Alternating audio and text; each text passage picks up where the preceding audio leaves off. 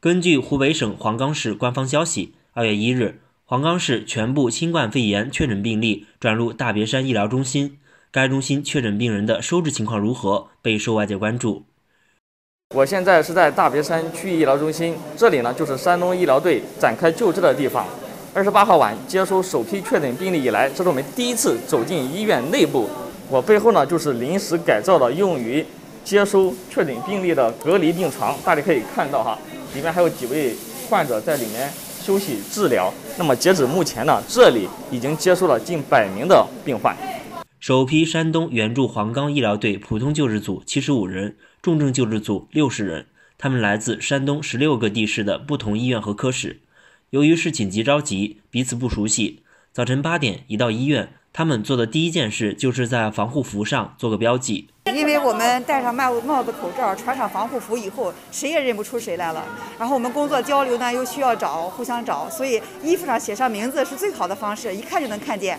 我我昨天还跟大家开玩笑，会不会我们回去以后再见面还是不认识呀？是吧？每天都戴着口罩。进入隔离病房，医疗队员会根据病人病情展开救治。由于不允许家属陪护，医疗队员还得照顾病人的生活起居。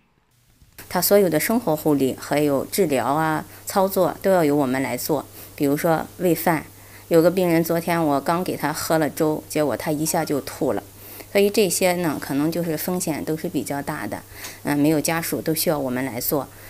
由于缺少清洁人员，忙碌了一整天的医疗队员交接完工作，还要清理病房、清运医疗垃圾，一天待在医院的时间近十个小时。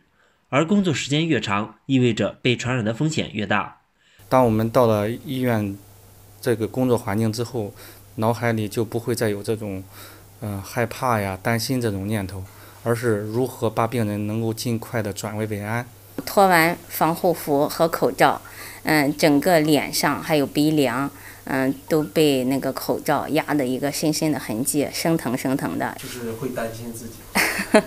嗯，担心担心自己万一被感染了，会拖医疗队的后腿。所以我一定要防护好自己，让自己呢，嗯，能够发挥最大的能力，让这个队伍呢，能够更有力的去战斗，完成这次任务。据介绍，截至一月三十一日，大别山医疗中心已开通三个病区，共计三百零六张床位，累计收治患者二百零五名。二月一日，该中心还将开放二百八十八间病房，二百八十多例疑似病例会陆续转入。二月一日起，黄冈市区的全部确诊病例、重症病例、危重病例都转入大别山医疗中心。更多精彩尽在中国新闻网客户端。